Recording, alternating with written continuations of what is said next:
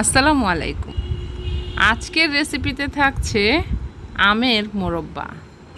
একদম সহজ পদ্ধতিতে কীভাবে এই মোরব্বা তৈরি করতে হয়, সেই রেসিপি আজকে আপনাদের সঙ্গে শেয়ার করব। তাছাড়া এখন কিন্তু ভরপুর আমের সিজন তাই এই মৌসুমেই কিন্তু এই মোরব্বাটি তৈরি করে রাখতে পারেন। তো আমের মোরব্বা তৈরি করার জন্য এখানে আমি একদম ফ্রেশ তিনটি আম নিয়েছি। আপনি চাইলে কোয়ান্টিটি বাড়িয়ে নিতে পারেন। এবার এই আমগুলোকে আমি ছিলে নিব। তো দেখুন, আমগুলো ছিলে নেওয়া হয়ে গেছে। এমনভাবে ছিলে নিতে হবে যেন উপরে সবুজ অংশ না থাকে।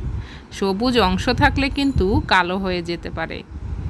তো আমগুলোকে এরকম ছোট ছোট কিউব করে কেটে নিয়েছি। আপনি চাইলে লম্বা করেও কেটে নিতে পারেন। তো আমি এখানে কিউব করেই কেটে নিয়েছি। এখানে আমি একটা বাটিতে পানি নিয়েছি। এবার পানির মধ্যে দুই টেবিল চামচ পরিমাণ লবণ দিয়ে দিচ্ছি। এবার আমি কেটে টুকরো করে রাখা আমগুলো এই লবণ পানির মধ্যে ভালোভাবে মিশিয়ে নিব। আর এই লবণ পানির মধ্যে ভিজিয়ে রাখব সাত থেকে আট ঘণ্টার মতো। এতে করে আপনার এই আমের ভেতরে যে টক ভাব রয়েছে, সেটা চলে যাবে। ফিরছি আট ঘণ্টা পর।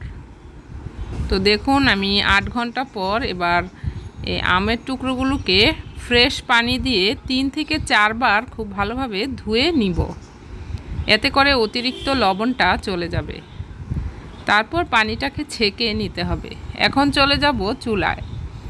এখানে আমি তিনটি আম নিয়েছি, এজন্য দেড় কাপ পরিমাণ চিনি নিয়েছি। আপনার কোয়ান্টিটি বেশি হলে সেক্ষেত্রে চিনির পরিমাণ বাড়িয়ে দিবেন। তারপর আমের টুকরোগুলি দিয়ে দিয়েছি, আর দুটো এলাচ আর দারুচিনির টুকরো দিয়েছি। এলাচ আর দারুচিনি দেওয়ার কারণে এটার ফ্লেভারটা সুন্দর আসবে।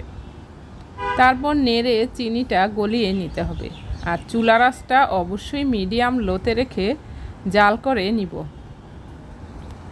তারপর দেখবেন অনেকটা পানি উঠে এসছে। তারপর ঢাকনা দিয়ে ঢেকে দশ মিনিটের মতো রান্না করে নিব। মাঝখানে নেড়ে দিতে হবে। এখানে এক্সট্রা পানি দেওয়ার কোনো প্রয়োজন নাই। যতটুকু আম থেকে আসবে, সেটা দিয়েই কিন্তু মরব্বাটা তৈরি হয়ে যাবে। তো এই রকম ঝোলটা রেখে চুলাটাকে বন্ধ করে দিচ্ছি। আর এই শিরার মধ্যে আমি তিন থেকে চার ঘণ্টা মরব্বাগুলো ভিজিয়ে রেখে দিয়েছি। এতে করে মরব্বাগুলোর ভিতরে শিরাটা ভালোভাবে ঢুকেছে। দেখুন কতটা সফট আর দেখতেও ইয়ামি হয়েছে। আপনি চাইলে এই মোরব্বাটা পুরো এক বছরের মতো সংরক্ষণ করে রেখে দিতে পারেন। কাচের বয়ামের মধ্যে রেখে মোরব্বাটা নর্মালেই রাখতে পারবেন এক বছর পর্যন্ত। মাঝে মাঝে একটু রোদে দিলেই হবে। তাছাড়া নর্মাল ফ্রিজেও রাখতে পারেন। দেখা হবে নেক্সট রেসিপিতে আল্লাহ হাফেজ।